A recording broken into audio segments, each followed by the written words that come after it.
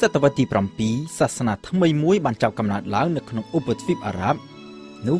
គឺសាសនាអ៊ីស្លាមដែលមានមហាម៉ាត់ជាព្យាការីសម្រាប់អ្នកមិនកាន់សាសនាអ៊ីស្លាមមហាម៉ាត់គឺជាអ្នកបង្កើតសាសនាអ៊ីស្លាមនេះឡើងក៏ប៉ុន្តែអ្នកដែលកាន់សាសនាអ៊ីស្លាមវិញយល់ថាអ៊ីស្លាមមានតាំងពីយូរណាស់មកហើយចំណែកឯមហាម៉ាត់គ្រាន់តែជាព្យាការីចុងក្រោយដើម្បីនាំសាររបស់ព្រះមកផ្សព្វផ្សាយដល់មនុស្សជាតិតែប៉ុណ្ណោះក៏ប៉ុន្តែបើទោះជាយ៉ាងណាក៏ដោយ ការលេចមុខរបស់មហាម៉ាត់និងសាសនាអ៊ីស្លាមនៅឧបទ្វីបអារ៉ាប់គឺជារបត់ដ៏សំខាន់មួយនៅក្នុងប្រវត្តិរបស់ពិភពអារ៉ាប់នៅមុនមហាម៉ាត់បណ្ដាជនអារ៉ាប់នៅមិនទាន់បង្កើតជារចនាសម្ព័ន្ធរដ្ឋត្រឹមត្រូវនៅឡើយទេដោយពួកគេរស់នៅជាលក្ខណៈកុលសម្ព័ន្ធផ្សេងផ្សេងដាច់ពីគ្នាហើយកុលសម្ព័ន្ធនីមួយនីមួយគោរពបូជាព្រះរៀងរៀងខ្លួនផ្សេងពីគ្នាគឺព្រះដែលតំណាងដោយរូបសំណាកមហាម៉ាត់បាននាំនៅសេចក្តីបង្រៀនថ្មីមួយដល់កុលសម្ព័ន្ធអារ៉ាប់ គឺថាការថ្វាយបង្គំរូបព្រះគឺជាការខុសឆ្គងធ្ងន់មួយពីព្រោះថាព្រះពិតមិនត្រូវការរូបសំណាកជាតំណាងហើយព្រះពិតមានតែមួយអង្គគត់ដែលជាព្រះរបស់មនុស្សគ្រប់គ្នាមនោគមវិជ្ជាសាសនាថ្មីនេះគឺជាមូលដ្ឋានដ៏សំខាន់មួយដែលឈានទៅបង្រួបបង្រួមបណ្ដាជនអារ៉ាប់ឲ្យចេញពីការរស់នៅជាកុលសម្ព័ន្ធដាច់ពីគ្នាឲ្យទៅជាសហគមន៍តែមួយវិញ គឺសហគមន៍អ៊ីស្លាម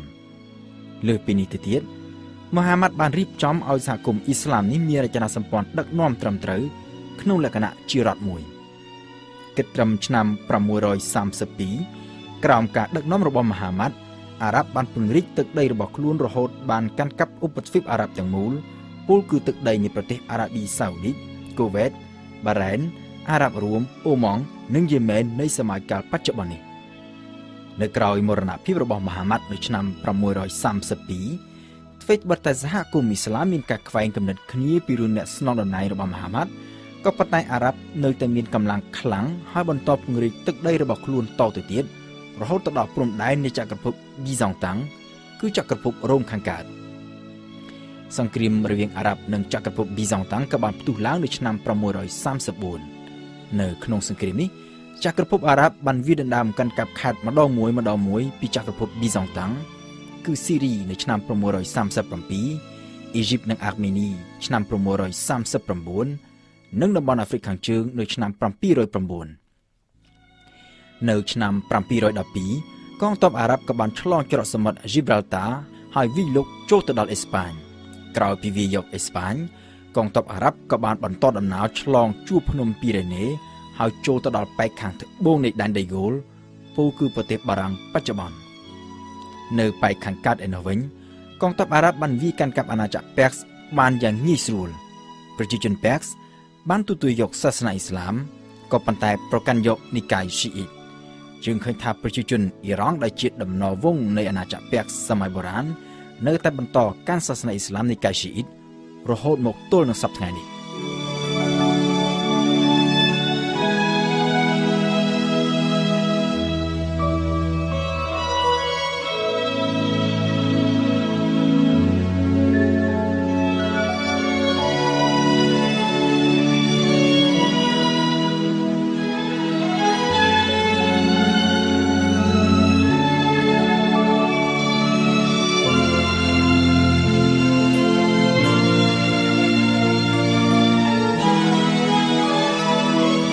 វាទីពង្រីកទឹកដីរបស់ចក្រភពអារ៉ាប់ត្រូវបានធ្វើឡើងនៅក្នុងល្បឿនយ៉ាងលឿនគួរឲ្យកត់សម្គាល់ក៏ប៉ុន្តែកងទ័ពអារ៉ាប់មិនចេះតែបានទទួលជោគជ័យគ្រប់ពេលវេលានោះដែរ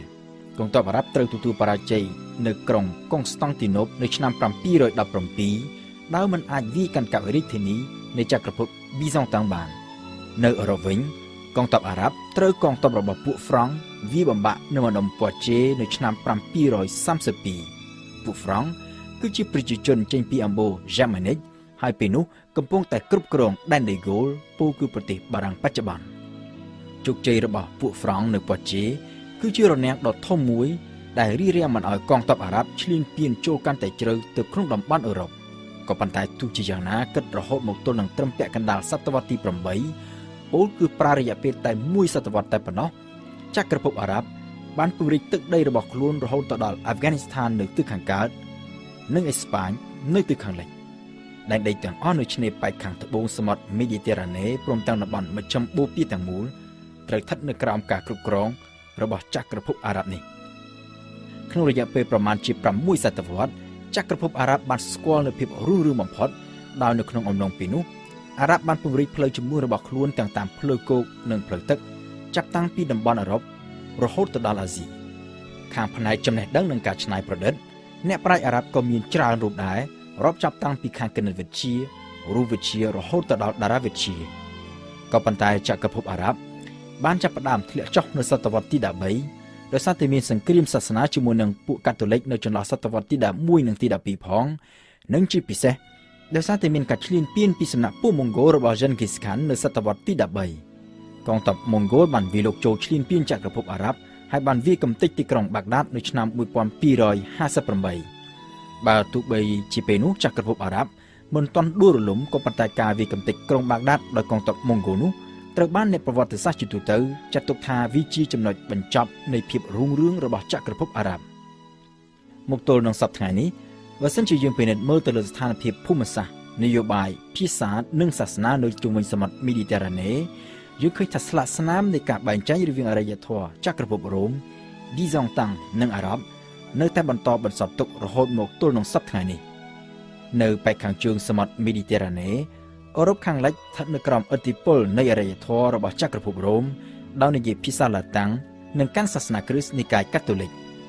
អឺរ៉ុបខាងកើតរហូតទៅដល់ព្រំប្រទល់នៃតំបន់ដើមបូព៌ាស្ថិតនៅក្រោមឥទ្ធិពលនៃចក្រភពប៊ីសង់តាំងដែលកាន់គ្រិស្តសាសនានិកាយ Orthodox ចំណែកនៅប៉ែកខាងត្បូងសមុទ្រ Mediterranean វិញចាប់តាំងពីតំបន់អាហ្វ្រិកខាងជើងកាត់តាមមជ្ឈមបូព៌ារហូតទៅដល់អាហ្វហ្គានីស្ថាននិងប៉ាគីស្ថាន គឺជាប្រទេសកាន់សាសនាអ៊ីស្លាមដែលចេញពីឥទ្ធិពលរបស់ចក្រភពអារ៉ាប់